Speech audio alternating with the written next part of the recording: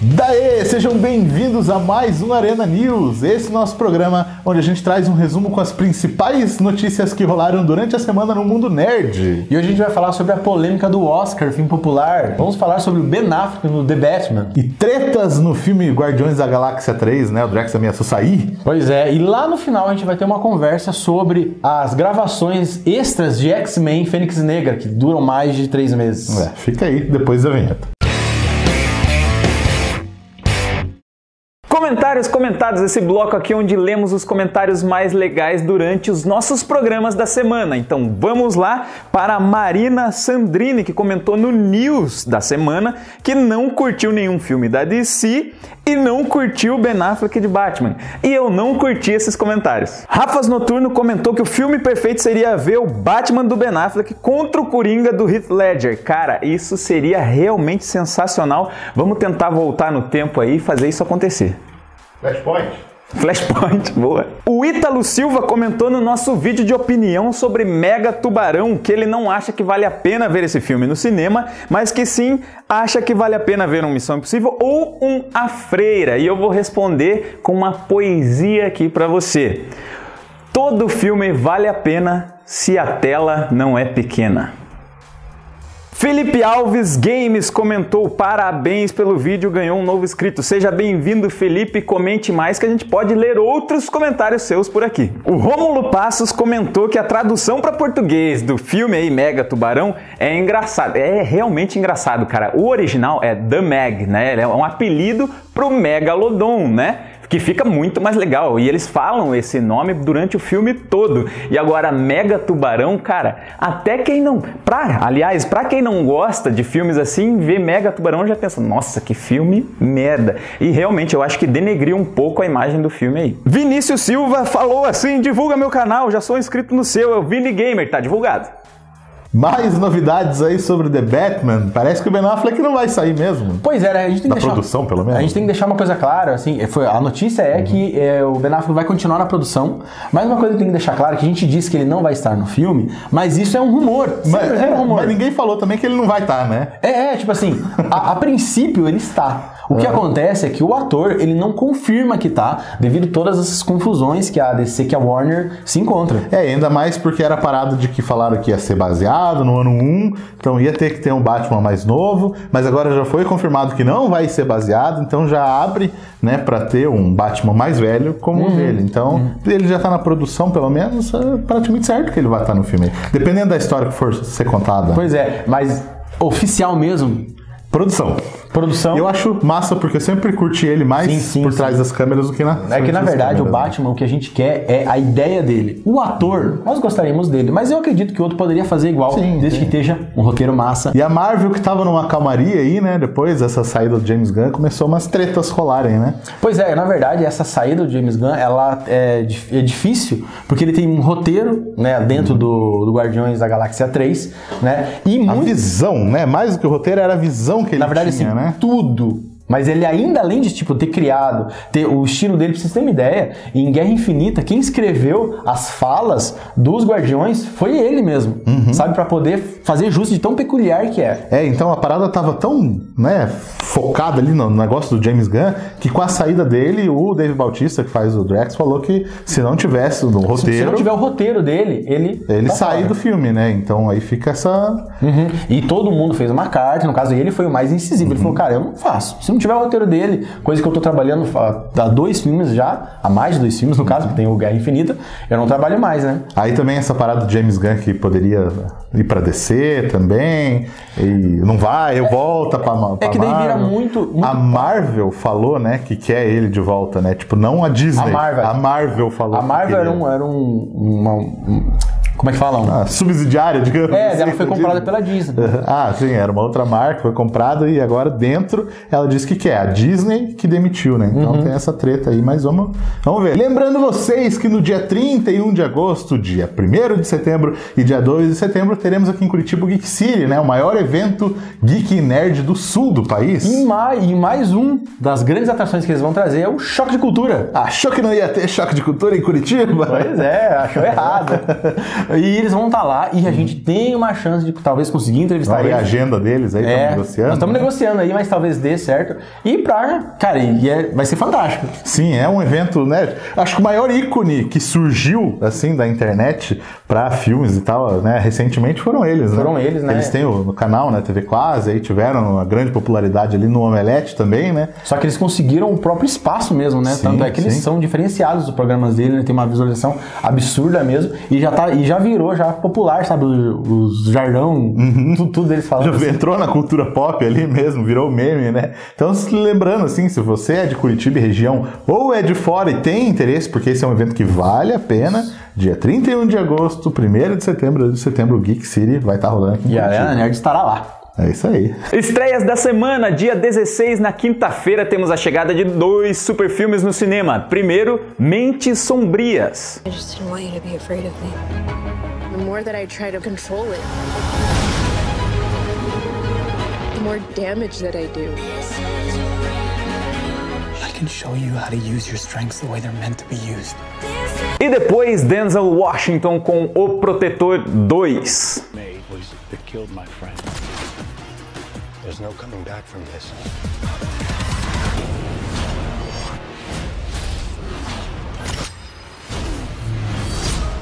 We all gotta pay for our sins. E na Netflix temos a estreia aí da série do criador dos Simpsons, a série Desencanto, no dia 17. Woo, I'm a good butcher. This is a pet shop.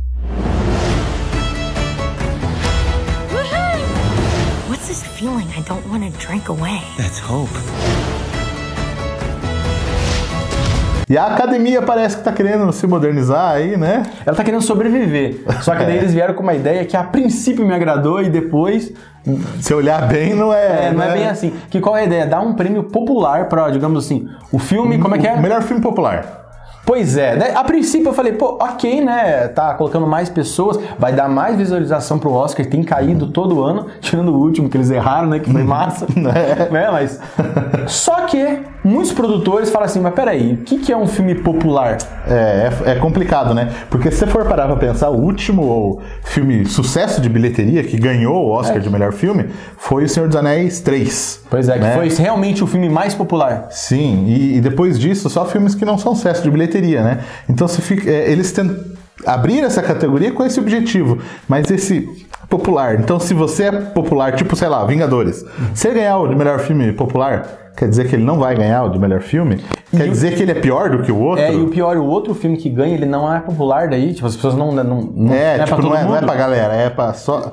É, é complicado, assim. e esse, esse prêmio ele foi criado para além de aumentar a visualização do evento Uhum. Oscar, é para poder premiar filmes como por exemplo Guerra Infinita.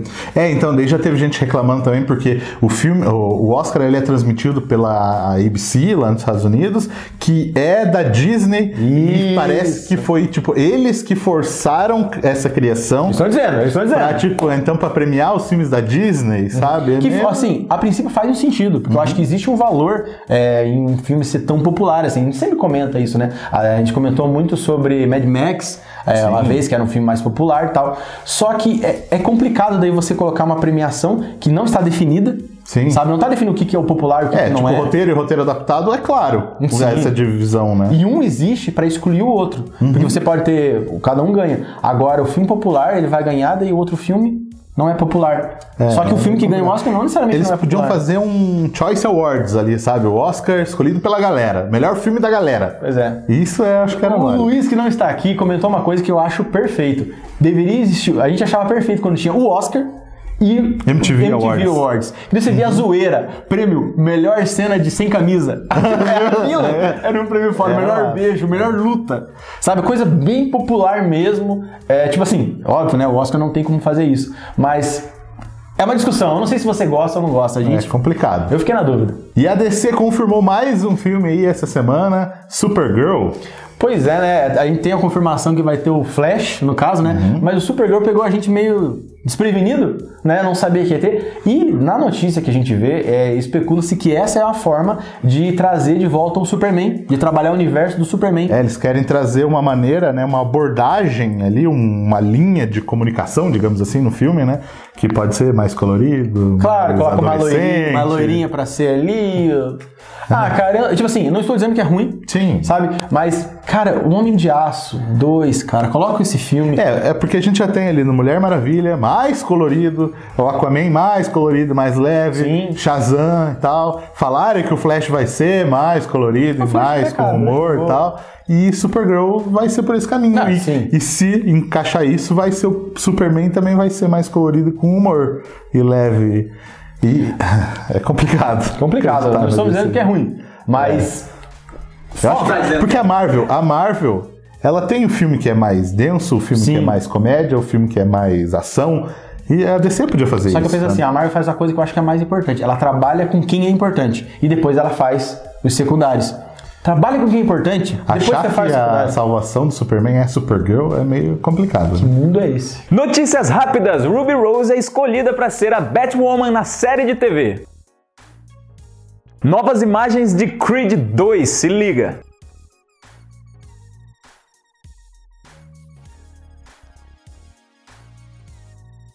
Henry Cavill demonstrou interesse em viver aí o bruxo, né, do jogo The Witcher, do jogo, do livro, e agora vai virar série. E ele queria atuar, então o Boss Logic já fez essa montagem aqui, se liga. Se liga nesse crossover dos mares aqui, ó, Aquaman e Mega Tubarão. O Máscara Negra foi escolhido como vilão do filme das Aves de Rapina e nós aqui já temos o ator. Se liga.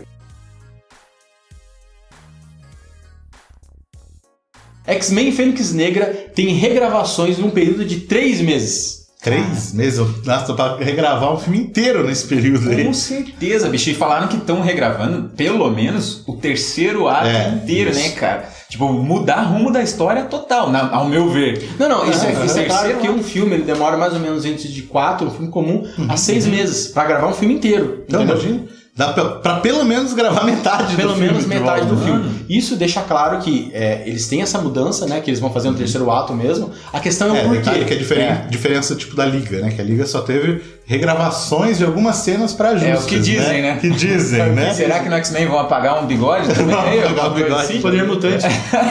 Ó, em vez de gás, né? Bigode, tá ligado? Boa, boa, boa. Então, Mas assim, tá o que- claro que eles querem mudar mesmo, né? Mas na net o que estão dizendo? Estão dizendo que Cara, que na verdade, assim, ó, você vê que essas regravações, quase que, rumores também, quase que estavam cancelando os X-Men e Novos Mutantes, Mutantes, né? né? Mas isso tudo surgiu bem nessa, nesse trâmite aí da compra, né, da Fox pela Disney. E já tinham adiado, né, o lançamento dos Exatamente, aham. Que era pra sair esse ano, né, cara? E jogaram filmes. De quando surgiu, ó, tipo, ó, a Disney vai comprar Fox? Já não, então pro ano que vem. Aham. Aí agora estão refazendo o filme. Ei, meu, Então muita gente fala que é pra tentar juntar. juntar já o X-Men com o universo da Marvel, né? Eu, pessoalmente, não acredito nisso, porque tem um ponto que eu acho que é principal ali, um personagem Uhum. que ele não encaixa ali, né, no, no MCU, que é o Mercúrio. O Verdade. Mercúrio ele tem muito destaque no X-Men. E, e o outro Mercúrio da Marvel, se fosse juntar esses daqui, sabe? É, mesmo que ele já tenha morrido, né? Tipo, É. não tem como, porra, de repente. Não, é que é o mesmo personagem, é um cara que tem É. velocidade com o mesmo nome. Com o mesmo nome, é. Entendeu? E tem a irmã dele que está no outro universo, que, tipo, tá. É, isso é, é um problema, mas eu já vejo outras coisas. O próprio universo da, da- do X-Men, né? No caso da Fox, ele é muito bagunçado, ele é Uhum. muito conturbado. Colo- misturar ele com outro universo que da Marvel que tá funcionando, que pior, né? Perdeu, vai perder os seus grandes heróis, vai ter só a base do universo como. Como sabe, como alicerce, eu acho muito preocupante. O que eu acredito, diferente daquelas teorias que estão comentando na internet, que eles querem, tipo, como colocar um easter egg no final pra aparecer, tipo, um Vingador, pra aparecer ligar com o universo depois de Thanos, é, nós aqui acreditamos que eles querem dar um final Pra toda a história de X-Men, final sobre Magneto, sobre o Professor Xavier. E é tipo, Sim. ó, já que, né, talvez o planejamento seja trazer novos X-Men, novos que eu digo, não outros mutantes, novos, Reboot mesmo. É um reboot mesmo na Marvel. Então tem que acabar isso aqui, sabe? Tem que, cara. E, e um com ponto essa final. história da Fênix Negra, né? Que é a Jean Grey com o poder da Fênix aí, que. Aqui tem só, só uma sinopse um pouquinho. Por favor. É que ah, nos outros filmes, né, ela simplesmente abriu uma nova, uma nova persona dentro da cabeça dela. Uhum. Nesse filme eles vão pro espaço e lá vai ter uma explosão, é, daquelas raios cósmicos, assim, né? que vai despertar nela ou dar pra ela esses poderes de Fênix. Muito parecido com o que acontece com o Quarto Fantástico, né? pra caramba, né, cara? E ela acaba se tornando uma entidade maligna, né? É quase como a Jean possuída, assim. É. E, né, e o poder dela elevado à décima segunda potência, né? Mas, e, e, cara, eu acho que isso pode ser uma forma interessante de Sim, terminar. ela a é um vilão realmente de peso Isso, mesmo. e, e com peso emocional e que pode acabar com morte de personagem principal. Isso, Sabe? isso é o que me agrada ser o último filme. Acabar, tipo, com aquela sensação do Vingadores Guerra Infinita, sabe? Você terminar o filme e você fala, tipo, morreu todo Só que aqui, cara, eu vejo um pariu, final sabe? do- igual da animação do X-Men Evolution. O, o Xavier dando um discurso que o futuro É. deles é Nossa. promissor, sabe? É. Tipo, pode acontecer uma, uma tragédia, mas o Xavier. É, mas tipo assim, vê- resolveu o problema e agora temos Exato, um. Isso, exato. sabe o que é legal? Agora você falou do final do X-Men Evolution. Isso tem naquele no final do X-Men clássico também. Também. O mesmo discurso. Mano, Cara, sensacional. Ciclope chorando. Sabe, tipo, a lágrima assim, tipo. Vermelho, assim? Nossa, é muito bom ver. Nossa. Ei, mas aí eu trago uma- essa questão aqui. E é esse X-Men morrendo e acabando, e o Deadpool que é desse universo? É que é, é o que a gente comentou. O Deadpool, mais nos bastidores, o Deadpool, eu acho que ele tá solto, ele é livre. É, pode ele- ele entrar pode. em qualquer Ele já universo. voltou na linha do tempo, já, Já. fez- Até na DC, se ele aparecer na DC, eu não. É, ele entra não, zoando, não, né? surpreenderia, não, né? não Ele zoaria. entra zoando. Um personagem, gente, que eu acho que é possível um reboot, e ele é mais. Ele é complicado porque ele é muito importante. É o Wolverine, o Logan, no caso. Aham. Ele é um personagem que todo mundo quer. Eu não acredito que uma empresa de cinema vai conseguir falar, não, contaram a história dele. Eu não, cara, não, É, não vai, cara. não Isso vai. aqui não vai deixar, e eu vou ser bem sincero. Eu quero ver.